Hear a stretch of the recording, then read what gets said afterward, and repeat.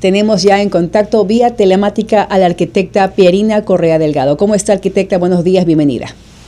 Hola, ¿cómo están? Qué gusto a los tiempos y qué alegría y nostalgia me da contactarme con la radio de mi alma mater querida.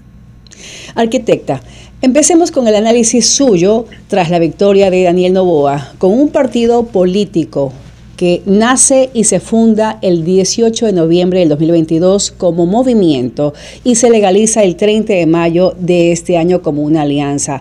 Esto con la victoria de este partido y obviamente de Daniel Novoa tras un para justamente contra ustedes, la Revolución Ciudadana, un partido que ya es consolidado. Cuéntenos su análisis al respecto.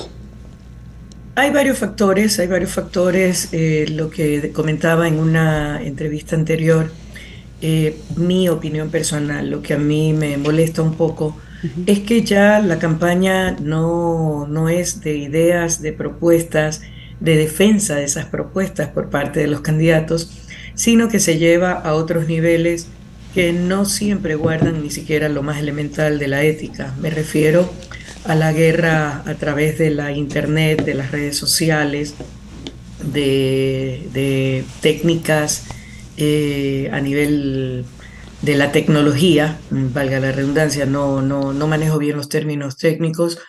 Eh, ¿En qué sentido? Por ejemplo, nos informaban de bloqueos eh, mediante la tecnología a videos o, cosas que subía Luisa a su página web, cosas de ese tipo. Entonces, terminan también los trolls, las cosas que, que se echan a rodar, incluso muchas veces atacando a temas ya personales, familiares, hasta íntimos que creo que no, no deberían de ser parte del quehacer político y peor a nivel de, un, de una contienda presidencial.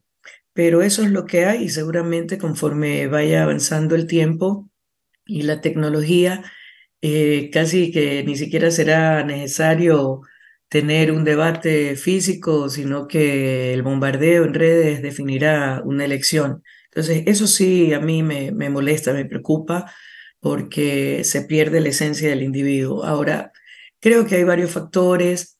Eh, me parece que, que, igual conforme iba pasando el tiempo, las distancias se acortaban, eh, tienen que ver con diferentes técnicas o estrategias de comunicación y, errores también que, que, se cometen a ratos, ¿no?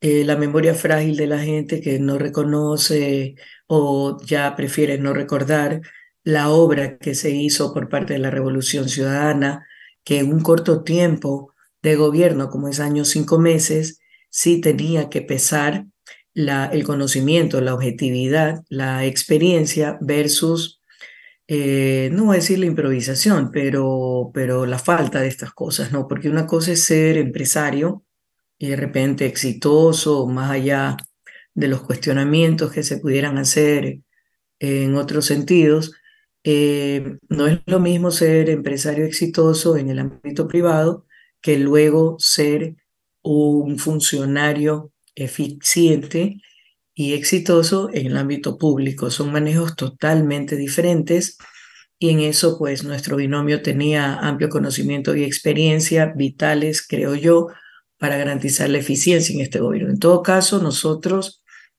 ante los resultados, ya el análisis interno en detalles será hecho de esa manera internamente en el movimiento, pero nuestra postura, y lo manifestó así Luisa en su primera aparición pública, luego conocer los resultados, será de total apoyo a la gestión de Daniel, eh, inclusive desde el bloque de la Revolución Ciudadana, hoy con 52 miembros o curules, siempre y cuando no irrespete, pisotee o, o restrinja derechos ciudadanos. Entonces, creo que ahí fue la felicitación, el apoyo, eh, obviamente las condiciones de gobernabilidad, como ya lo hicimos realmente en el 2021 cuando fue oficial el triunfo de Guillermo Lazo.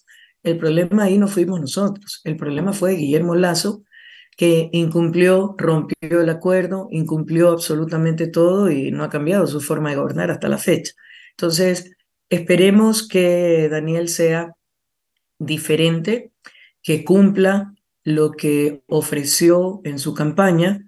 Vamos a ser también críticos constructivos, muy respetuosos, con un análisis y un sustento, con argumentos de base, no simplemente criticar por criticar o criticar de manera dañina. Entonces, hay que pasar la página, ya la elección terminó, y ver con optimismo este cortísimo tiempo de gobierno interino, deseándole el mayor de los éxitos a Daniel, porque de lo bien que haga su trabajo también va a irradiarse en términos de bienestar, seguridad, generación de empleo, entre otros, al pueblo ecuatoriano. Entonces, esa es nuestra postura y, y siempre hemos sido así de manera responsable para con la gente. De acuerdo con usted, coincidimos en que el presidente tendrá que trabajar y en este caso, pues cumplir con lo que ha ofrecido, pero también de la mano con ustedes los asambleístas. De hecho, usted es la asambleísta más votada y le va a tocar presidir, en este caso, la primera sesión de instalación de la Asamblea Nacional. Una vez que logren instalarse, eh, para tener claro cuál va a ser eh, el procedimiento aquel día, van primero a votar para elegir al presidente, en este caso del legislativo, o van primero pues a definir cuál va a ser el futuro del general Patricio Carrillo dentro de la Asamblea Nacional. El tema del general Carrillo, a ver, para comenzar, habiendo una decisión, un proceso, un pronunciamiento en el Pleno de la Asamblea del Primer Poder del Estado, debidamente comunicado en su momento al Ministerio de Trabajo, el general Carrillo nunca debió haber sido siquiera candidato. Ahí se agarraron de una argucia en el sentido de que el fallo, por decirlo así, después del juicio político, eh, no, se lo, no, se lo podía destituir porque ya no estaba en funciones, pero sí inhabilitarlo por dos años para ejercer cargo público de elección y de nominación. Entonces, como dice así, palabra más, palabra menos, ¿qué argumentaron? Que no decía que no podía ser candidato. Evidentemente, si es de elección, hay que, ser, hay que tener un proceso de candidatura para poder participar en una elección, pero el Tribunal Contencioso Electoral falló a favor de él y fue candidato. Evidentemente su movimiento necesitaba una figura fuerte para poder alar al resto de la lista en cuanto a resultados. Eh, yo personalmente tengo mis cuestionamientos en la parte de resultados porque no me hace lógica que Daniel Novoa, en este momento hasta presidente ya electo eh, y candidato a segunda vuelta, no llegaba, pero creo que completaba a duras penas 13 votos, ni 13 curules, ni siquiera llegaba a bancada, versus Zurita, o digamos, construye que su votación para presidencia era bajísima y sin embargo sacó originalmente 31 asambleístas. O sea, la lógica y los números no me dan hasta la fecha, pero en todo caso eso es lo que hay. Entonces, eh, ¿qué pasa? Él no debió haber sido candidato. Lo hicieron candidato, ok. Queda como segundo más votado después de mí, a una amplia diferencia, pero segundo más votado.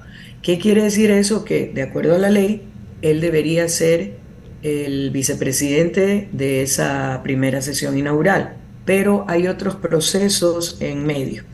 Existe la entrega de credenciales que está originalmente planificada para el 8 de diciembre. Yo estoy ingresando un documento al CNE el día de hoy pidiendo que se adelante esa fecha, pero si a él le dan las credenciales ya es oficialmente asambleísta, aunque no posesionado. A partir de ese momento, la Asamblea, desde el Departamento de Talento Humano, pide ya los documentos a cada asambleísta para hacer su ingreso formal en nómina de la Asamblea. Entre los documentos que se solicitan es una certificación de no tener impedimento de ejercer cargo público. Ahí, si es que ya lo dejaron pasar las otras etapas, debería detenerse. De detenerse. ¿Por qué razón? Porque hay un fallo de la Asamblea y hay un, una comunicación oficial al Ministerio de Trabajo. Entonces, él en ese momento, al no tener ese documento, no debería poder seguir. Asumamos que lo dejen seguir. Se instala la sesión y antes de empezar propiamente con la elección de directivas, eh, hay un proceso previo. Se escogen cinco y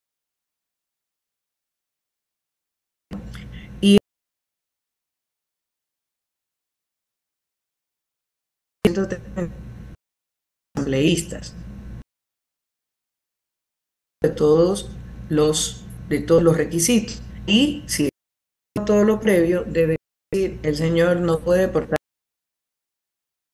que no haya incidentes en la asamblea. Yo creo que dadas las acciones que hemos escuchado últimamente podría incidentarse. Recordemos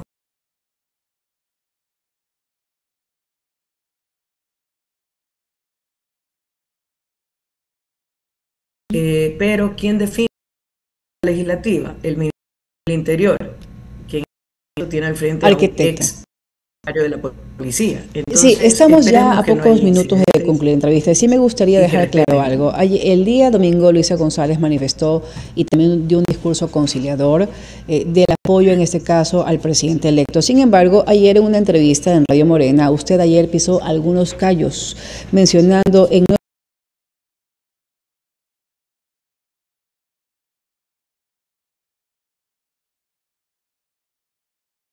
ve arquitecto del tiempo.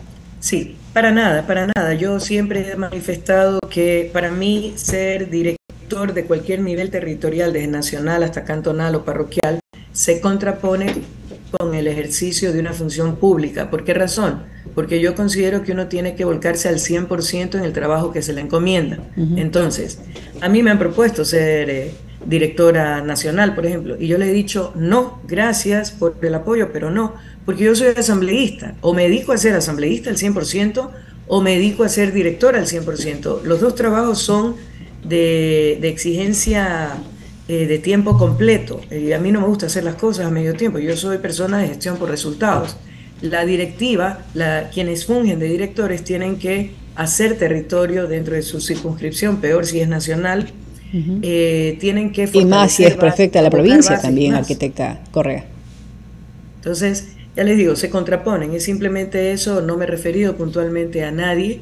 Eh, yo creo que, que, se debería de cumplir un periodo, tanto en la función para la cual fue uno escogida, en este caso la asamblea, y o si se acepta la directiva, la directiva también hacerla a tiempo completo y yo decía, no pueden ser candidatos en los dos siguientes procesos electorales, porque sí hay una ventaja cuando uno es director, por la visibilidad, por una serie de factores. Entonces, eh, tenemos que no la entrevista. Muchísimas gracias por habernos acompañado.